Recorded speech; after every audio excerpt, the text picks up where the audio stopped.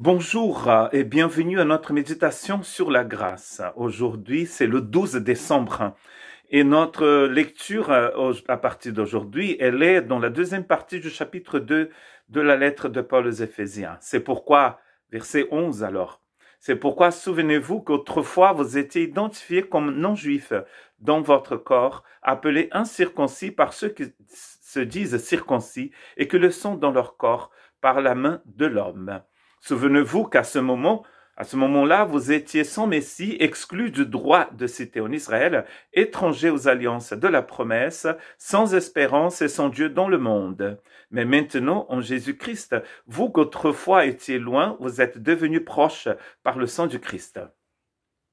Très intéressant quand dans, dans cette deuxième partie euh, de l'épître de Paul aux Éphésiens, il va commencer à parler, rentrer dans le vif du sujet.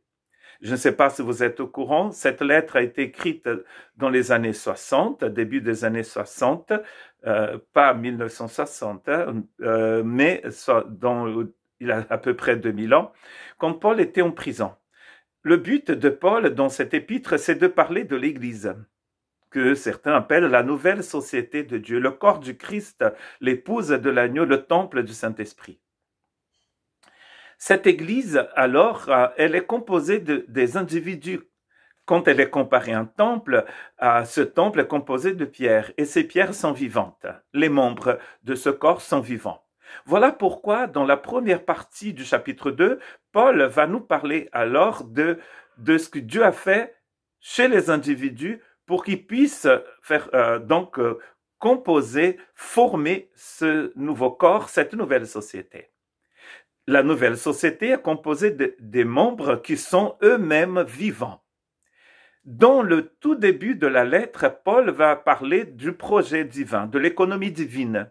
qui C'est une économie euh, éternelle. Avant la fondation du monde, il nous a choisis pour que nous soyons saints. Et là, maintenant, il va nous parler que avant la fondation du monde, il nous a choisis pour que nous formions un corps. Le grand défi ici, c'est que au départ, nous avons un peuple qui a reçu la révélation pour pouvoir la partager, car les oracles de Dieu viennent de ce peuple, même le couple qui allait mettre au monde celui qui viendrait pour euh, justement changer les choses, changer les individus et après les unir dans un seul corps, ce couple aussi est issu de descendants d'Abraham. Il, il les appelle ici les circoncis. Quant aux autres, euh, les Éphésiens et peut-être la majorité d'entre nous, nous étions incirconcis. Et cette circoncision ici, c'est le signe d'une alliance. Souvenez-vous, il va dire deux fois. À ce moment-là, vous étiez sans Messie, il dit dans le verset 12, exclu du droit de citer en Israël, étranger aux alliances de la promesse, sans espérance et sans Dieu dans le monde. Comme dans la première partie, il va parler d'une situation de mort, de condamnation, de rébellion. Et ensuite, il va dire, mais Dieu, et cela vous trouvez dans le chapitre 2, verset 4. Mais Dieu qui est riche en miséricorde et à cause du grand amour dont il nous a aimés, et là, tout le changement va s'opérer. Ici, il aura la même chose dans le verset 13, quand il dit, mais maintenant. Vous étiez éloignés, vous étiez étrangers aux promesses, euh, aux promesses de l'alliance, et vous étiez sans espérance et sans Dieu dans le monde, mais maintenant, en Jésus-Christ, vous qui étiez autrefois loin, vous êtes devenus proches par le sang du Christ. Sang du Christ étant ici, bien sûr, synonyme du sacrifice du Christ. De la même manière que Dieu nous a mis en Christ dans sa croix, Romains chapitre 6, il nous a baptisés en Christ et il nous a ressuscités en Christ. De, cette même manière, il dit dans Éphésiens 2 que nous avons, Dieu nous a mis ensemble dans la résurrection de Jésus-Christ. Les individus sont ressuscités en Christ. Ici, il parle du corps.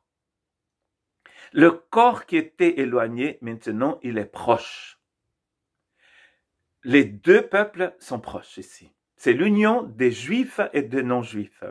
L'Église du Christ est une seule dans les Écritures. Le peuple de Dieu dans les Écritures, c'est un seul peuple. Et notamment, cela sera bien expliqué ici dans Éphésiens. Nous avons, on a déjà dit ça, et ceux qui écoutent ce, message le savent, dans notre église ici, euh, dans le sud-ouest de la France, au Pays Basque, et dans le sud des Landes, l'église baptiste de la côte basque, nous avons compté plus de 20, même 26 nationalités euh, l'année dernière dans notre église. Et c'est très intéressant de voir comment, bon, comme tout, tout, tout, groupe de personnes, nous avons les soucis qui sont, qui, qui sont propres de, des groupes, des associations, mais sincèrement, je trouve que euh, nous formons vraiment un corps ici. L'amour qui nous unit, la, joie que nous avons de nous rencontrer, nous pouvons compter euh, une quinzaine de langues différentes dans l'Église, qui va euh, de l'arabe en passant par le persan, euh, des langues européennes.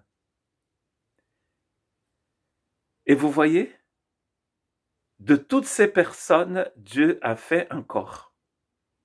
C'est le thème maintenant de, de cette partie du chapitre 2. Et il va aussi aller dans le chapitre 3, 4. C'est l'œuvre de la grâce d'unir des gens qui sont tout à fait différents. Mais vous voyez qu'ici, il y aura une circoncision du cœur. Dieu va circoncire le cœur des croyants pour qu'ils puissent vivre ensemble. Il va mettre dans leur esprit son esprit. Il va parler de ça dans chapitre 4. Un seul esprit. C'est l'œuvre de la grâce.